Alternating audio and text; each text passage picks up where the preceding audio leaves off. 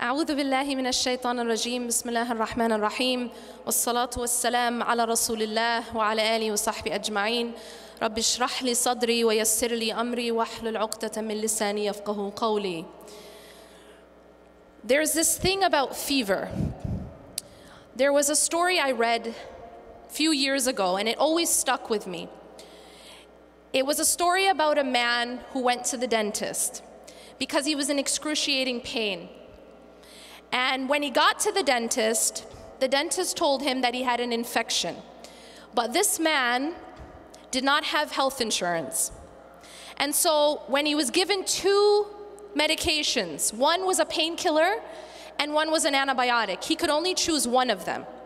And so, like many of us, he chose the painkiller. He just didn't want to feel the pain anymore, he wanted to be numb. And so, what happened is he took the painkiller so he didn't have to feel that anymore. But what happened to the infection?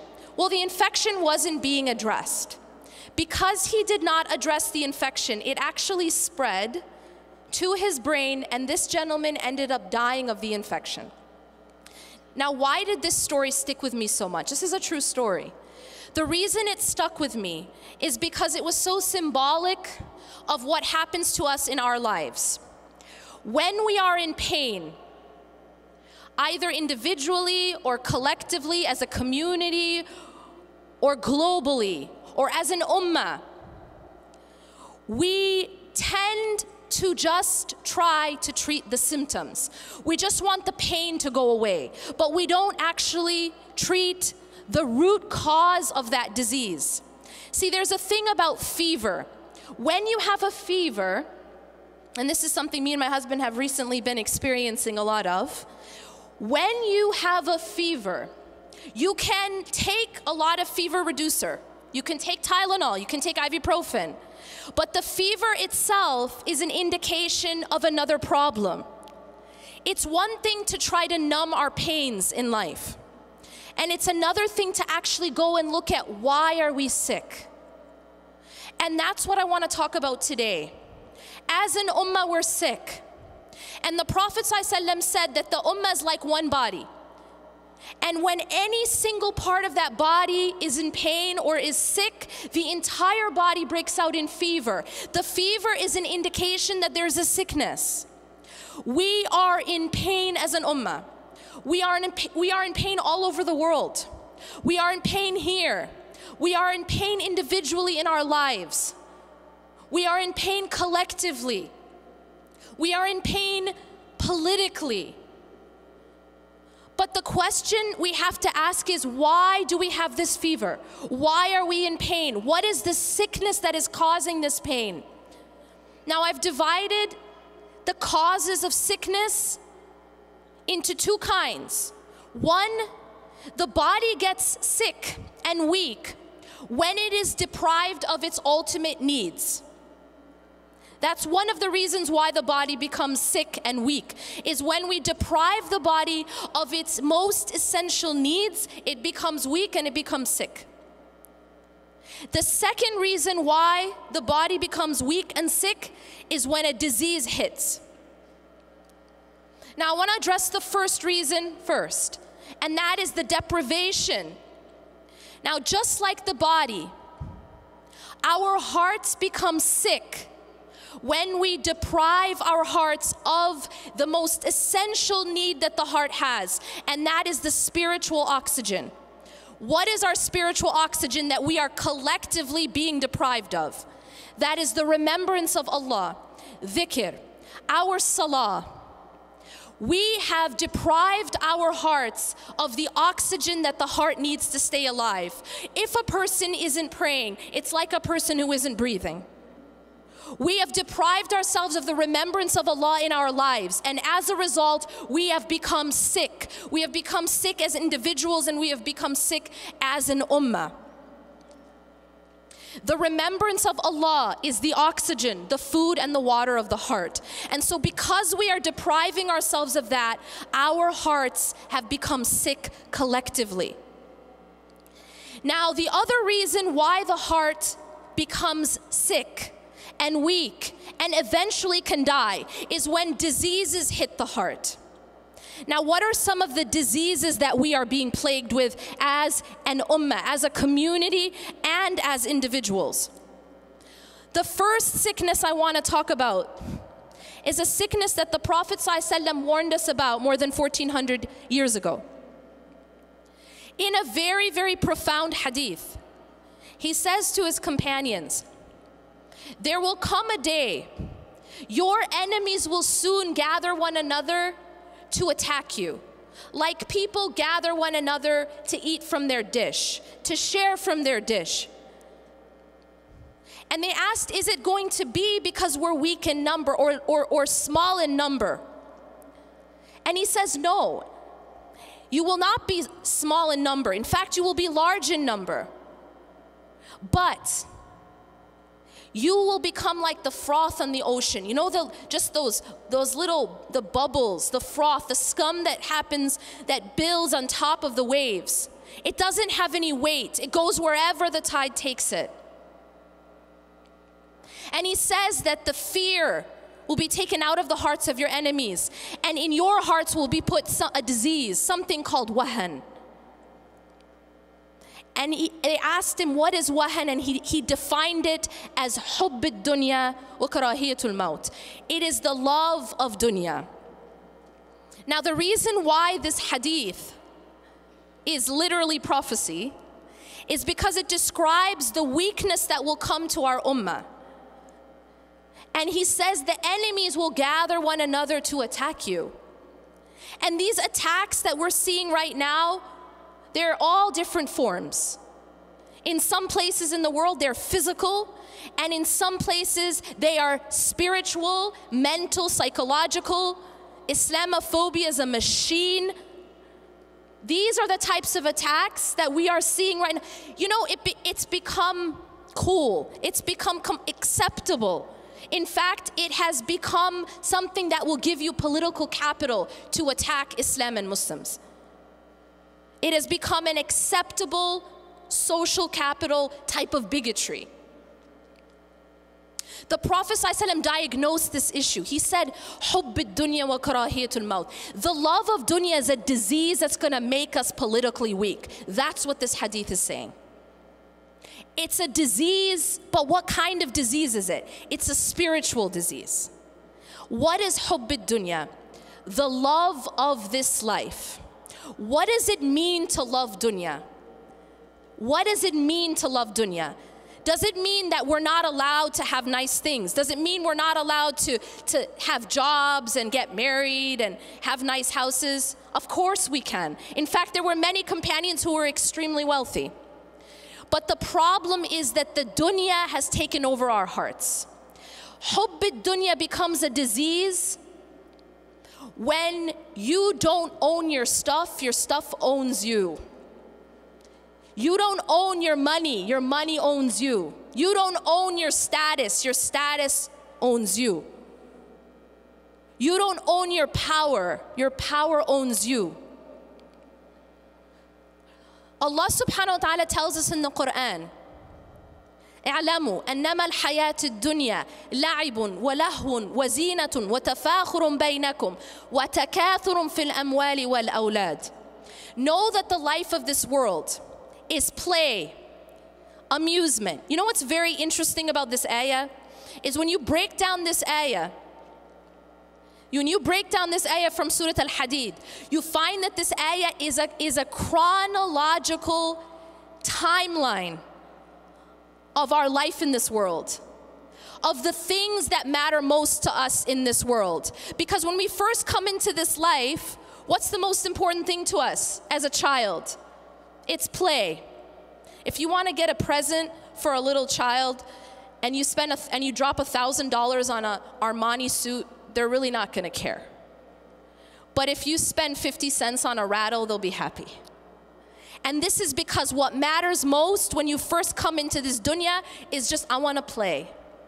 لعب اعلموا انما الحياه الدنيا لعب ولهو and then you get a little bit older and now you're kind of like in in late elementary middle school And now, the most important thing to you, anyone who has people in that age, any children in that age group, what's, what's their favorite thing to say? I'm bored.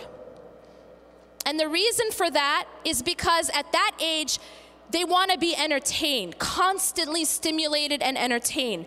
And that's because at that point, the most important thing to them is entertainment, amusement. This is called lahu in the Quran.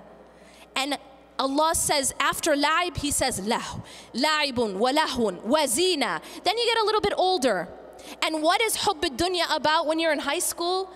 Well, pretty much it's about what you look like, what you're wearing. This is the time when people are so concerned about what they look like that this is when you see spikes in things like eating disorders because what you look like becomes of utmost importance. And so here Allah says zina. Zina is adornment, looking good. لعب ولهو وزينة وتفاخر بينكم. Now you get a little bit older. And now it's not so much about your rattles and your video games or even your brand names. Now it's about proving yourself. Now it's about how do I stack up next to someone else? What medical school are you getting into? How are your grades? And now it's tafakhurun bainakum. Now you're trying to show off. You're trying to compete. Then you get established. You get a big house, nice car, and children. And now what is it? وَتَكَاثُرٌ فِي الْأَمْوَالِ وَالْأَوْلَادِ Now it's about getting a lot or competing in the accumulation with regards to money and your children. But what's so interesting here is that Allah says all of this, all of this, He gives us an analogy. See, all of these are halal things. But these are the things we get caught up in. And each person is at a different stage in that dunya. But all of it كمثل غيث أعجب الكفار نباته ثم يهيج فتراه مصفرا all of this stuff that we get so caught up in it's like a heavy rain that makes the farmer super excited for a while. Because what happens? It brings vegetation. But then what happens to that vegetation? These things that we chase, what happens to it? It starts to crumble, becomes dry and yellow, and then it just becomes nothing. Allah subhanahu wa ta'ala is teaching us that the life of this world isn't meant to be chased. It isn't meant to be loved in that way. And when you take hubb dunya and you fill your heart with it, it actually causes all types of other spiritual diseases. The second disease, which also actually comes out of hubb dunya, is the disease of envy. The disease of envy is destroying our body as an ummah. And now we have social media, right? So that we can really like really express this disease. And the reason why we have the disease of envy is because we have lost focus of what matters most. And so our competitions and our, our, comp, our, our comparisons are all about dunya. What does that person look like? What is that person wearing? What kind of car do they have? What kind of house do they have? And so our comparisons are all dunya, dunya, dunya. We've lost sight of what actually matters. And what is the cure for these diseases? Well, the first disease, disease of hubb dunya. The disease of hubb dunya is to refocus on the final home. I mentioned this earlier. Every single one of us are moving. And anyone who's ever moved before knows that in order to move, you have to furnish the home you're moving to. You have to prepare it. Every single person is moving into their grave. And that's without a shadow of a doubt. But the question is have you furnished that home? Some of us are gonna get to that home and it's gonna have no furniture. Some of us are gonna get to that home and in fact it's gonna have been burnt down. And so the question becomes not whether or not we're moving, it's how does our home look once we get there? And so the cure to hubb dunya is what Allah subhanahu wa ta'ala says, يا أيها الذين آمنوا اتقوا الله ولتنظر نفس ما قدمت لغد واتقوا الله. O you who have believed, have taqwa of Allah, be conscious of Allah, and let everyone know, let everyone be, be aware of what they're putting forth for tomorrow. Plan for that home because you're going there. The question is only how furnished will it be? What condition will that home be in when you arrive? The cure to hubb dunya is to shift your focus back to the final tomorrow and to have some plan for that. What is the cure for the disease that is plaguing us of envy? This constant social comparison. I never have enough, but, but they have more. There are studies that show that the more people use social media, the more they are dissatisfied with their own lives. Part of the reason for that, of course, is that our social media is our photoshopped version of our lives. And of course, we're comparing my real life with that person's photoshopped life. It, it's fake, it's not real. And so as a result, I become less and less satisfied with my own self, my own figure, my own clothes, my own home, my own spouse, maybe. And that's because of these constant comparisons with something that isn't even real, because there's always a filter. And so the cure to envy is gratitude. وَإِذْ تَأَذَّنَ رَبُّكُمْ لَإِن شَكَرْتُمْ لَأَزِيدَنَّكُمْ Allah tells us that if we are grateful, he will increase us, He will give us more. The cure to your envy is be grateful for what Allah has given you.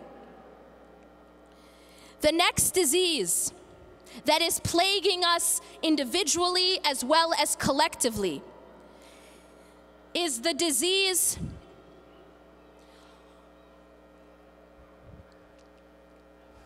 of doubt. Many of us are being plagued with this concept of doubt. Some people are even being pushed to leave the deen because of doubt. But I think we've made a mistake when we, when we characterize, or rather, when we look at the root of doubt. See, we need knowledge, we need information, but realize that shak, doubt, is not a disease of the intellect. It is a disease of the heart. See, you can sit and give all this information to a person who has the disease of shek in their hearts, and it won't make any difference because you're talking to the mind. It is not going to cure the problem until you fix the heart. One of the reasons why we suffer from the disease of shek, of doubt, is because of our sins. It is actually a spiritual disease. And sometimes we are trying to heal that disease in the wrong way by just talking to the mind, but the heart is still sick. And Allah and His Messenger told us, the Prophet ﷺ said, Inna fil jasadi. In the body there is a lump of flesh. Ida saluhat salahal jasadu kullu. If it is set right, the entire body is set right. Wa ida fasadat fasad al jasadu kullu ala wa hiya al qalb. And if it's corrupted, the entire body is corrupted. Al-qalb. Indeed, it is the heart. See, when the heart is corrupted, that's when you see these diseases. That's when you see things like the diseases of shek, of doubt. If you want to cure that, you have to go and cure the heart. And one of the most powerful cures of the heart is istighfar. See, our hearts become sick by our sins. And one of those sicknesses is doubt. I don't know which way to go. I'm not sure about this. I'm not sure about that. I'm not sure about anything.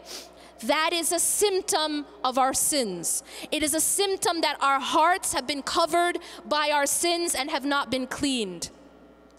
Just like if we don't clean our bodies, we're going to start to get symptoms of that disease from the dirt. And the, and the cure is to clean the heart through istighfar, through repentance to Allah subhanahu wa ta'ala. Another disease which has, has, has inflicted itself upon us is that individually and collectively, we have lost this concept of good character There are certain qualities which we have lost. One of them is the quality of honesty. One of them is the quality of mercy for one another, compassion, empathy. We've lost these qualities that, that make a person have that beautiful, beautiful manners that the Prophet ﷺ said, إِنَّمَا بعثت لأتمم مكارم الأخلاق. I have been sent to bring about, to perfect good manners. But we've lost these qualities, and as a result, we've become diseased as an ummah. What is the cure? We have to go back to unconditional honesty. If you're talking to your children, be honest. Don't think because they're children it's okay to lie to them. If you're talking to anyone, be honest. Be in the habit of being honest. Because until we go back to these beautiful manners, we will not fix our condition. See, we complain a lot about the type of leadership that we have, don't we? Leadership in our masajid, we say, oh, it's not it's corrupt. Leadership in our countries, it's corrupt. Do you know why we have corrupt leadership? Because our leadership is a reflection of us. It's a reflection of what we are inside. If we want the leaders to be better, we have to become better. We have to become honest if we want our leaders to be honest, because they are a reflection of who we are inside. Changing ourselves. Inna Allah la ma biqawmin hatta yughayyiru ma bi anfusihim. Indeed, Allah will not, does not change the condition of a people until they change what's inside themselves. If you want just leaders, be just in your own families. Be just in your organizations, at your schools, in your masajid. We can't even have a proper board in the masjid, and we're going to talk about justice at the at the state level. We have to start to change ourselves. Going back to that beautiful character, to stop being harsh, to stop having a hard heart. You know, one of the problems we have is we think that when you become religious, it means you have to be really mean right? You have to be harsh. Sometimes people, as they become more and more religious, they become more and more harsh with their families. All of a sudden, everything is haram, and, and now they just, they, they've actually become more hardened. That's not what it means to be religious. The Prophet ﷺ was the softest of people. He had the softest of hearts. And he said, خيركم خيركم لأهله. The best of you are the best to their families. It's not that the best of you are the best to those in the masjid or the most polite to the people at the cash register, but the best to your families. That's actually the litmus test of your righteousness. How do you treat your family when you get home? That is the litmus test put down by the Prophet ﷺ. We have to go back to good character. إنما بعثت لأتمم مكارم الأخلاق. I have been sent to beautify, to perfect beautiful manners and character. We have to go back to mercy between one another, compassion, empathy, لا يؤمن أحدكم حتى يحب لأخيه ما يحب لنفسه. That none of you truly believe until they love for others what they love for themselves. We have to be a people who care about one another. We cannot have this nafsi nafsi attitude. And if we do, it's a sign that there's a disease internally.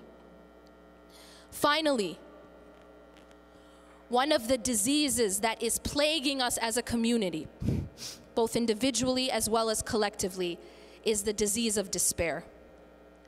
I believe that we have fallen into despair. Many of us feel as those who came before us felt.